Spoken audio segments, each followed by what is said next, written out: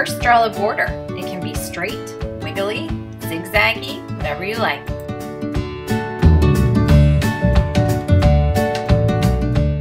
Pretend that your pencil or marker is going for a walk, not a run, around your page.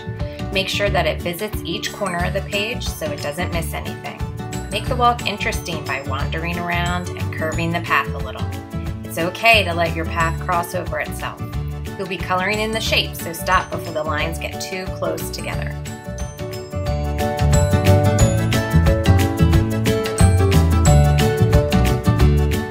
Next, color in your shapes. Use as many or as little colors as you want, and it doesn't matter what kind of art utensil you use. If you have crayons, use those. Colored pencils, use those. Markers, you can use those too.